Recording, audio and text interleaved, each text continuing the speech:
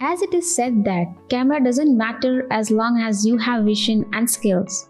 To an extent, it can be supported, but one needs a tool or a good camera to put the imagination in front of the people in the best way possible.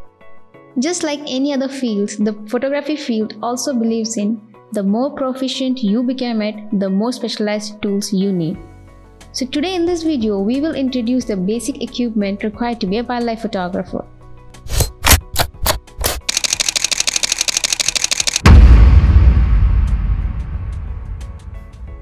Welcome back to Creative Hut channel, an exclusive platform to know more about photography. For anyone who is passionate about wildlife and decided to do wildlife photography, the first question comes to the mind is from where to start and which all gears should be there before starting the quest. Gears play a vital role in wildlife photography. Better gears can help in getting the best results. Usually, wildlife photographers need to invest additionally for the accessories. Although the expense is more, but the outcome of the wildlife photograph manages it all. So here are some practical suggestions for you to select the appropriate gears. First is a comfortable camera, either half frame or full frame. Second is telephoto lens. To capture the animals and birds photography, the most recommended and flexible telephoto lens are 300mm and 600mm. While some of the affordable telelens for wildlife photography are like that of Canon 100 to 400mm, Nikon 200 to 500mm and Sony 200 to 600mm. Third is macro lens, mostly used for macro photography like that of small insects. Most recommended is Sony 90mm, Canon 100mm and Nikon 105mm.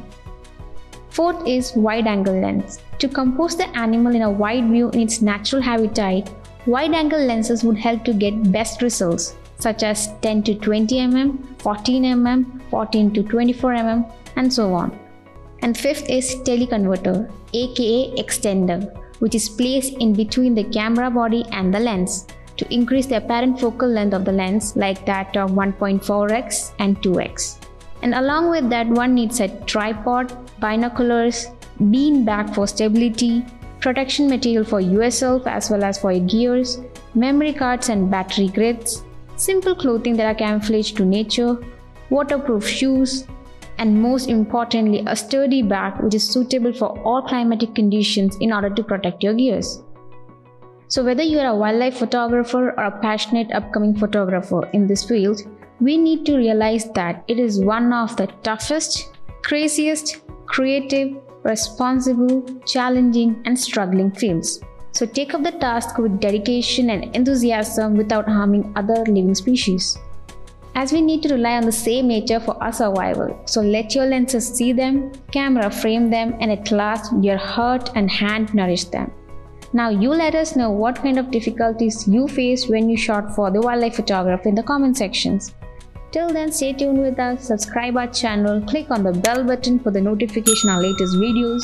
For photography courses, different specializations in photography, visit our website www.creativehut.org and for more photography articles, tips, tricks, portfolio and much more, visit our official blog www.creativehuts.com. Feel free to like and share until we meet next time. Stay safe and healthy. Bye bye.